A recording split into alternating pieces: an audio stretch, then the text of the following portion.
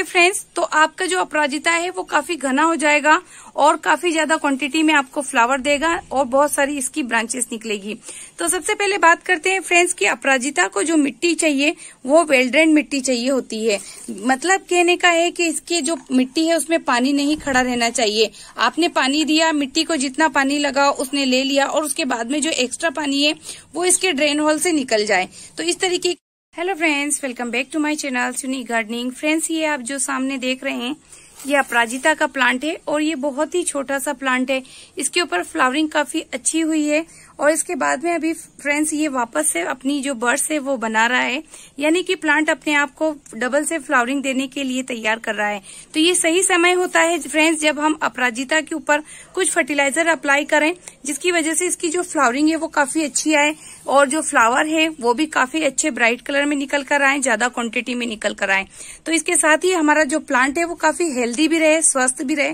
क्योंकि एक बार फ्लावरिंग देने के बाद में प्लांट की जो एनर्जी होती है फ्रेंड्स वो काफ़ी खत्म हो जाती है और उसी की वजह से थोड़ी जो ब्रांचेस है वो सूखने लग जाती हैं और पत्तियाँ जो है वो पीली होने लग जाती हैं। तो कुछ टिप्स आज मैं आपके साथ में शेयर कर रही हूँ फ्रेंड्स अपराजिता को लेकर, जिससे आपके जो प्लांट है वो काफ़ी हेल्दी हो जाएगा, काफ़ी ग्रो करेगा और आपके जो प्लांट है अपराजिता का, वो हमेशा फूलों से भरा रहेगा। तो आपको भी अगर अपने अपराजिता के प्लांट को अपने गार्डन में हमेशा बना के रखना है और उसको हमेशा फूलों से भरा रखना है तो आप भी कुछ फॉलो करेंगे फ्रेंड्स तो आपका जो अपराजिता है, वो काफ़ी घना हो जाएगा और काफ़ी ज़्यादा क्वांटिटी में आपको फ्लावर देगा और बहुत सारी इसकी ब्रांचेस निकलेगी. तो सबसे पहले बात करते हैं फ्रेंड्स की अपराजिता को जो मिट्टी चाहिए, वो वेल्ड्रेंड मिट्टी चाहिए होती है. मतलब कहने का है कि इसकी जो मिट्टी है, उसमें पानी नहीं खड़ा रहना चाहिए. आपने पानी दिया, मिट्टी को जितना पानी लगा, उसने ले लिया और उसके बाद में जो एक्स्ट्रा पानी है, वो इसके ड्रेन होल से निकल जाए. तो इस तरीके राजिता के लिए बनाना बहुत ज़्यादा ज़रूरी है। तो इसके लिए आपको मिट्टी इस तरीके से बनानी है कि आप इसमें थोड़ा सा मॉइस्चर होल्डिंग भी बनाइए, क्योंकि अपराजिता जो प्लांट होता है, उसको पूरी सूखी मिट्टी बिल्कुल भी पसंद नहीं होती है। आपको इसके पानी का बहुत ज़्यादा ध्यान रखना है फ्रेंड्स क्योंकि अगर आप इसको ज़्यादा ओवर वाटरिंग कर देंगे तो भी ये प्लांट को पसंद नहीं है, और अगर इसकी मिट्टी पूरी तरीके से सूख जाएगी तो भी इसको प्लांट को पसंद नहीं है, क्योंकि इसकी जो पत्तियाँ होती है, इसकी जो ब्रांचेस होती है काफ़ी नाजुक होती है।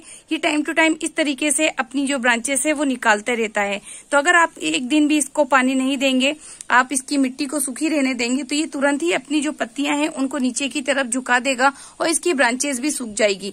तो इस तरीके से अगर ये आपकी ब्रांचेस सूख रही है तो आपको पता चल रहा होगा कि या तो इसमें ओवर हो गई है, या फिर इसमें अंडर वाटरिंग हुई है। तो फ्रेंड्स, आप इसका पानी का बहुत ज़्यादा ध्यान रखिएगा।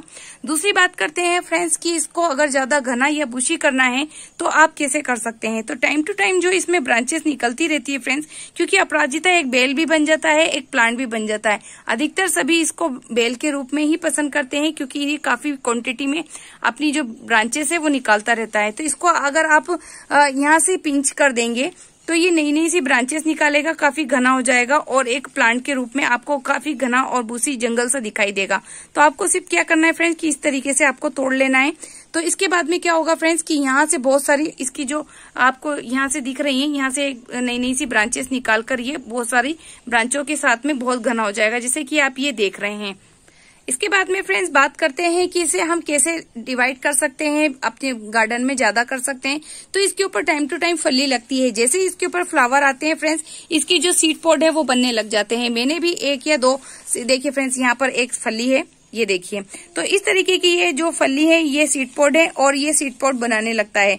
तो अगर आप इसके सीड पोड को नहीं बनने देंगे फ्रेंड्स तो इसकी ग्रोथ काफ़ी अच्छे से चलेगी। और अगर आप इस तरीके से इसके ऊपर फलियों को रहने देंगे तो इसकी ग्रोथ रुक जाएगी, फिर ये सीड के ऊपर ही अपनी सारी एनर्जी लगा देगा। तो अगर आप चाहते हैं कि आपकी जो प्लांट है, उसके ऊपर ज़्यादा से ज़्यादा फ्लावर आए तो आप इस तरीके से जो फली है, उसको तोड़कर फेंक दें। अगर आपको ज़्यादा प्लांट करने हैं तो आप इसमें एक फली को इस तरीके से छोड़ दीजिए। जिस तरीके से मैंने इसको छोड़ रखा है तो ये अगर बड़ी हो जाएगी और आ, मतलब पक जाएगी इसके सीड अच्छे मेच्योर हो जाएँगे तो मैं इससे दूसरे नए प्लांट भी लगा सकती हूँ। आप इसको कटिंग से ग्रो कर सकते हैं और सीड से भी ग्रो कर सकते हैं। सीड बनाने के लिए फ्रेंड्स एक ही फली काफ़ी होती है इसमें चार से पाँच आपको सीड मिल जाएँगे। तो आपको बहुत सारी फलियों की ज़रूरत नहीं है सिर्फ़ एक ही आप छोड़ दीजिए। इसके बाद में फ्रेंड्स, आपको क्या करना है कि इसकी जो खाद है फर्टिलाइज़र है, उसके ऊपर ज़्यादा आपको ध्यान देना है। तो आज मैं आपको दो फर्टिलाइज़र ऐसे बता रही हूँ, जिससे इसकी जो पत्तियाँ हैं, वो काफ़ी ग्रीन हो जाएगी और उसके बाद में जो आपका प्लांट है, वो काफ़ी ज़्यादा फ्लावर देगा।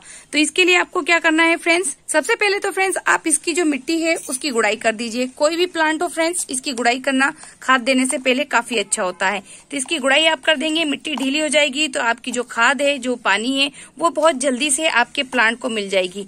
आप इस तरीके से इसको गुड़ाई कर लीजिए। इसके बाद में आपको क्या करना है फ्रेंड्स डीएपी के कुछ दाने लीजिए फ्रेंड्स और इसकी मिट्टी में इस तरीके से डाल दीजिए। डीएपी जो होता है, डाई, अमोनिया फास्फेट फ्रेंड्स ये आपके जो प्लांट है, उसमें नई रूट्स बनाता है। इससे क्या होता है फ्रेंड्स कि नई नई सी ब्रांचेस निकल कर आती हैं, आपका प्लांट बहुत ज़्यादा घना और बुची हो जाता है। तो इस तरीके से आप इसमें दे दीजिए। इसके बाद में फ्रेंड्स आप एक चीज़ और डालिए इसके अंदर, जो कि जो कि बहुत कॉमन है फ्रेंड्स और ये है एप्सन सोल्ट एप्सन सोल्ट जो होता है फ्रेंड्स वो हमारे जो प्लांट है, उसमें ग्रीननेस काफ़ी लाता है, उसकी पत्तियाँ काफ़ी ग्रीन होती है, और इससे नई नई ब्रांचेस निकल कर आती है फ्लावर की क्वांटिटी काफ़ी बढ़ जाती है, और उसके साथ ही जो फ्लावर का कलर होता है, वो काफ़ी ब्राइट होकर निकलता है। आप चाहें तो इसको पानी में भी डिजोल्व करके डाल सकते हैं। पानी से डालने से फ्रेंड्स आपके जो प्लांट है, उसको जो खाद है, वो बहुत जल्दी मिलती है, और बहुत तेज़ी से मिलती है, और इसके साथ ही जो आपका प्लांट है, उसके ऊपर जो आपका रिस्पॉन्स है, वो काफ़ी अच्छे से देता है। तो आप इसको आधा चम्मच ले लीजिए फ्रेंड्स, और एक लीटर पानी ले लीजिए। एक लीटर पानी में इसको अच्छे से डिजोल्व कर लीजिए, और उसके बाद में फिर आप अपने प्लांट को दे दीजिए। मैंने अक्सर फ्रेंड्स इसको बहुत ज़्यादा इस्तेमाल किया है हमारे अपराजिता के प्लांट को तो इसमें ज़्यादा फ्लावर आए हैं और ब्रांचेस भी काफ़ी अच्छी निकली है। तो फ्रेंड्स इसको इस तरीके से डिजोल्व करना है आपको। इस तरीके से आप अच्छे से मिला लीजिए। आपको डालना फ्रेंड्स एक ही, ही लीटर पानी में है आधा चम्मच के करीब। और इसको इस तरीके से अच्छे से मिला लीजिए। और मैं ये सिर्फ़ आपको गिलास में डाल के बता रही हूँ। आपको डालना तो फ्रेंड्स एक लीटर पानी में ही है ये एक लीटर पानी है। और इसमें आप डाल लीजिए। अच्छे से मिल जाने के बाद में आप इसको प्लांट के अकॉर्डिंग इस पानी को इसमें डाल दीजिए। इससे क्या होगा फ्रेंड्स, कि ये जो आपकी पत्तियाँ दिख रही हैं, अपराजिता की, ये काफ़ी ग्रीन हो जाएँगी। इसकी जो ब्रांचेस है, वो काफ़ी स्पीडली निकलेंगी और फ्लावर का जो कलर होता है फ्रेंड्स, वो काफ़ी ज़्यादा ग्रीन होके निकलेगा। तो अपराजिता की अगर आप इस तरीके से केयर करेंगे ना फ्रेंड्स तो काफ़ी ज़्यादा फ्लावर आएँगे और इसमें इतनी सारी ब्रांचेस निकल कर आएँगी। तो फ्रेंड्स, अगर वीडियो अच्छी लगती है, इन्फॉर्मेटिव लगती है तो लाइक कीजिएगा, शेयर कीजिएगा। मेरे चैनल पर अगर नए हैं तो सब्सक्राइब करना मत भूलिएगा फ्रेंड्स। मिलते हैं फिर किसी नई वीडियो में। नए प्लान की जानकारी के साथ, तब तक के लिए टेक केयर।